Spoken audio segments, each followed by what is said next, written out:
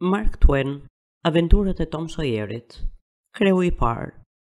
Tom, asnjë përgjigje. Tom, asnjë përgjigje. Ku është fut shejtani? Ej, Tom, asnjë përgjigje.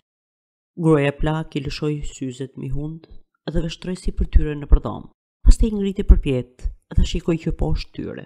Përmes tyre ama, rrallë e tek i hidhte sytë kur kërkonte një palo çunak si ai.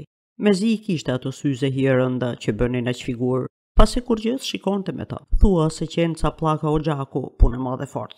Mbeti një çast e hutuar, pastaj klithi edhe aq egër jo, por mjaft sa të dëgjonin edhe muret. Ah, veç në të zënça, pastaj... Nuk e mbaroi dot fjalën se qe kërrusur te krevati e po shponte nën të me bishtin e fshesës, pra i duhej frymë pas çdo goditje, Mirëpo veç maces nuk nxori gjë tjetër në dritë. S'kam parë ndonjëherë pizaveng të tillë. Doli te dera e oborrit, dhe vështroi nëpër kërcenjtë e domateve dhe tufat e gramit që përbënin gjithë gjithë kopshtin e tyre. Tomi asgjëkundi. Atëherë ajo e kurdisi zërin për distanca të gjata. Tomi! Prapa shpine ndjeu një zhurmë të lehtë. Frap.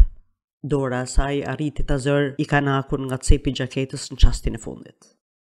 Pashi, pashi. Te bufeja s'më kishte vajtur mendja. Ç'kërkoje aty? Asgjë.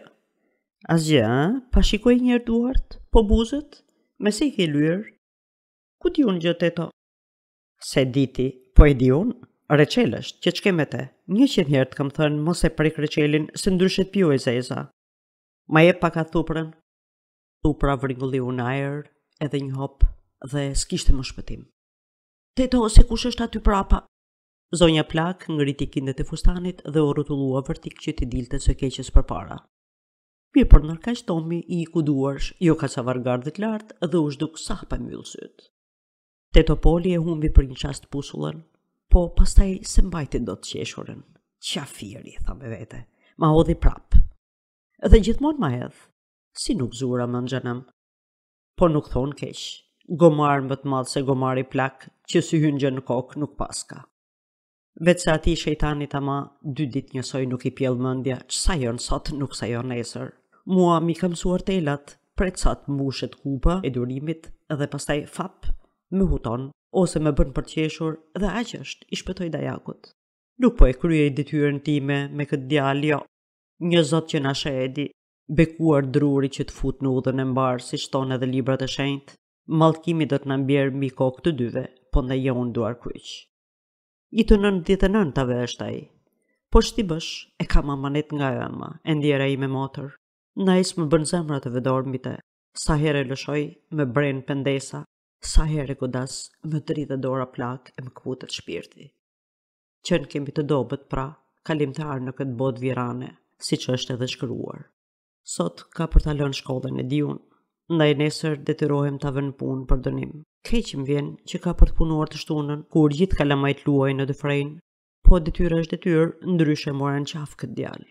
Tomi e la shkollën vërtet atë mbasdite edhe brodhi e bëri qejf sa deshi. Në shtëpi u kthye vonë, para darke, sa për të ndihmuar pak Xhimin, djaloshin e vogël zezak, që po priste dru e po bënte shkarpa. Fjalë goja e ndihmoi, sepse pjesën më të madhe të punës e bëri Xhimi, ndërkohë që Tomi i tregonte atij aventurat e ditës.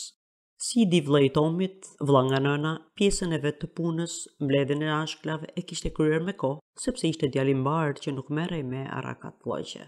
Tek hante darkë, Tomi bënte ç'bënte dhe vidhte ndonjë sheqerkë nga vazoja, ndërsa teto Poli i drejtonte ca pyetje tepër të thella me spec, me qëllim që ai të binte në grackë, ashtu si shumë njerëz të mirë e dede, edhe teto Poli ndiente se kishte talent të shquar diplomatik, se kurthet e saj, që kuptoheshin një orë larg, ishin kulmi i finokërisë. Tom, goxha vapë sot në shkollë, ë? Po, teto. Të përcitje, apo jo? Po, teto. Nuk u lave në lumë, Tom. Po Tomi diç nuhati e filloi t'i binte hiles. E pa në sy teto Polin, po s'arriti të diktonte gjë, ndaj foli me zë të pakët. Jo, teto, jo dhe aq. Gruaja plakë zgjati dorën dhe i preku këmishën Tomit. Megjithatë, nuk qenke nxehtë, tha, me vete, ngadhënjeu, sepse ashtu siç e priste, këmisha nuk qe e lagur. Po Tomi e dinte se ku flinte lepuri, ndaj i doli lëvizjes tjetër përpara. Ca çuna na hodhën ujë në kokë, ja, shikoji flokët akoma i kam të lagur. Teto Polit i erdhi hidhur që nuk e pa kaq gjë të thjeshtë dhe i shkoi goditja huq. Po aty për aty, diçka tjetër i vetëtiu në mend. Tomi, kur të hodhën ujë në kokë nuk besoj se e shqepe këmishën aty ku ta kam qepur unë, pa zbërthe një çikë xhaketën? Tomi psherëtiu i lehtësuar dhe shkopsiti xhaketën. Jaka e këmishës ishte e qepur në vendin e saj. Hëm, nejse, më qe mbushur mendja se e kishe lënë shkollën e ishe larë në lumë, shko tani, të kam falur. Skile e vjetër je. Po, shiko hap sytë. Nga njëra anë i vinte keq që diplomacia e la në baltë, nga ana tjetër ama iu bë qejfi që Tomi u soll një herë siç duhej. Po Sidi u hodh e tha, me sa mbaj mend unë ti ia kishe qepur jakën me pe të bardhë dhe jo me pe të zi. Patjetër që me pe të bardhë. Tom? po Tomi nuk e priti vazhdimin. Pa dalë mirë nga dera, iu kthye Sidit. Ta shohësh ti se ç'do të punoj, i tha. Si doli jashtë rrezikut, Tomi vështroi nga brenda jakës së xhaketës dy gjilpëra të mëdha, te njëra ishte mbështjellë pe i bardhë, te tjetra pe i zi. As që kishte për të kuptuar gjë ajo, po mos fliste Sidi, tha me vete. Dreq o punë, një herë e qep me pe të bardhë, një herë me pe të zi, ec e merre vesh. Pse s'e vendos, o këtë, o atë, që ta di edhe unë, Po atij Sidit do t'ia zbut kurrizin mirë, ka për të parë ai. Ç'është e vërteta, Tomin nuk mund ta quaje djalë shembullor të qytetit. Ky ishte një tjetër që Tomi e njihte mirë dhe s'e shihte dot me sy. Por nuk shkuan as dy minuta dhe gjithë andrallat u harruan. Jo se hallet e tij qenë më të lehta për t'u duruar nga hallet e një të rrituri. Aspak, por sepse atë çast doli diçka e re, që ia hoqi të gjitha si me dorë. ashtu siç u vë kapak brengave të të rriturit një ide a plan i ri. Kjo diçka qe një stil i ri të fishkëllyeri, që kohët e fundit ia kishte mësuar një zezak, e që tani mezi gjeti qetësi ta ushtronte. Ishte një si punë cicërime, a si gurgullima që derdhen kur ngjit gjuhën pas qiellzës në mes të melodisë. Lexuesi në rast se ka qenë çun besoj se di ta bëjë edhe tani. Përqendrimi dhe zelli e nxorën faqebardhë. Kaloi shumë dhe ai zuri të bridhte poshtë e përpjetë rrugës me këngë në gojë e me gaz në kraharor. E dini atë astronomin që zbulon një planet të ri?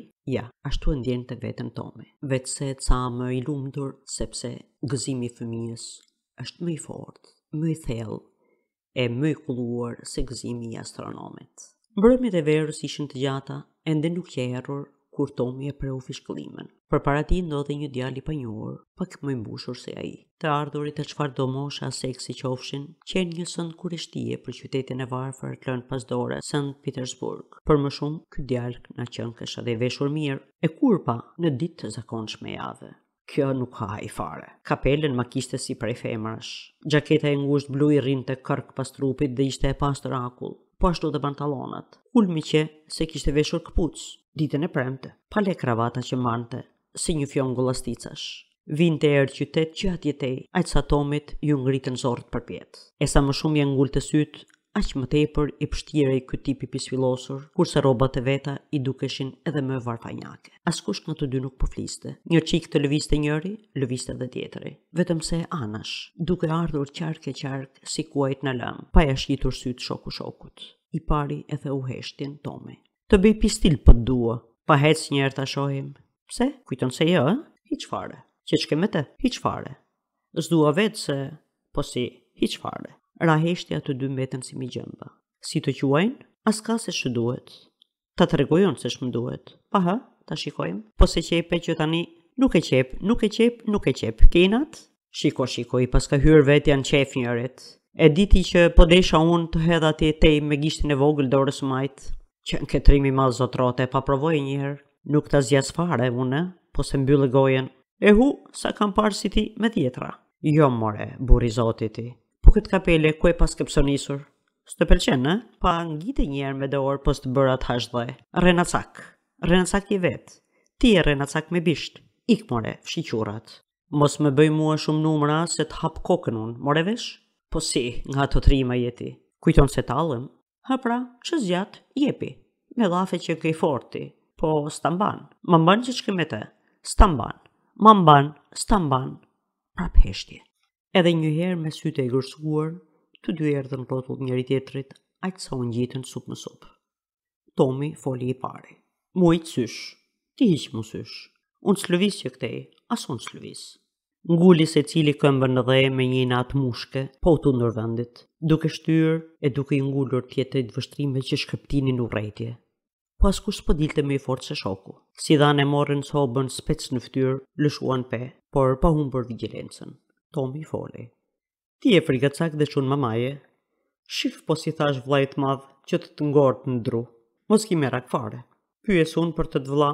Unë kam një vëlla më të madh se yti që e fluturon tëndin matanë gardhit po i deshi qejfi. Merret vesh këta vëllezër u shpikën aty për aty. Tani na gënjeve. S'dashke ti, m'u prish gjiza. Tomi hoqi një vijë në pluhur me gishtin e këmbës dhe tha: Guxo kaloje këtë vijë, po s'të zbrujta sa mos mbahesh dot në këmbë. Kush guxon, ha dru vendçe. Tjetri e shkeli vijën me fodullëk. Hë mo, ç'do më bëje, the. Shiko tani e teprove, mos kemi fjalë pastaj. Sikur do haja dru, jepi pra, po pres. Shumë ta zgjata, për dy cent e hëngre turinjve. Djaloshi spitullaq nxori dy monedha bakri nga xhepi dhe ia zgjati Tomit para hunde me qesëndi. Tomi ia flakëriu për tokë. Kaq u desh dhe të dy kalamajtë ranë duke u zhgryer në shesh, të kapërthyer si macet e egra, duke i shkulur flokët e rrobat njëri-tjetrit, duke çjerrë hundë e veshë, të mbuluar në pluhur lavdie. Pastaj rrëmuja sikur mori formë dhe prapa pluhurit të betejës u shfaq Tomi, që e kishte vënë armikun poshtë dhe po e dëndte me grushte. Thuaj më fal, i bërtiste. Tjetri bënte çmos t'i shpëtonte mbërthimit, po më kot. Zunë t'i dilnin lot inati. Thuaj më fal, grushtet binin përsëri. Më në fund, djali i panjohur rënkoi me pahir më fal dhe Tomi e la të lirë. Tani besoj se do vësh mend, i tha, që herë tjetër mos hedhësh më vickla lart e poshtë. Djaloshi u largua duke shkundur pluhurin nga rrobet, me ofshama e ngashërima, me kanosje, që ia lëshonte Tomit herë pas here tek kthente kokën pas, se do t'i punonte qindin, po t'i binte njëherë në dorë. Tomi ia priti me të ngërdheshur, pastaj mori të ikte shend e verë, por sapo kish kthyer shpinën, tjetri i lëshoi pabesisht një gur që e zuri Tomin mu në mes të shpatullave. Pastaj ua dha këmbëve si ndonjë pelë. Tomi e ndoqi besëqenin derisa ky u fut në shpi të vet. I zuri pastaj pritë te dera dhe e ftoi në bejleg, po tjetri e përqeshi disa herë që prapa dritares, pastaj u zhduk. Më në fund doli e ëma e armikut, që e bëri Tomin qepaze. E quajti mistrec, sojsëz, rrugaç, dhe i tha të këpuste zverkun. Kështu që Tomi u kthye mbrapsht, por vetëm pasi u betua se atij të poshtrit do t'i bënte namin. Në shtëpi erdhi tepër vonë atë natë. U kacavar në dritare, por sapo kërceu në dhomë, ra në pusinë që i kishte ngrehur teto Poli dora vetë. tek e pa se në çfarë feje i qenë katandisur rrobat, vendimin për t'ia kthyer të shtunën në ditë burgimi me punë të detyruar, s'ia luante tani më as edhe topi.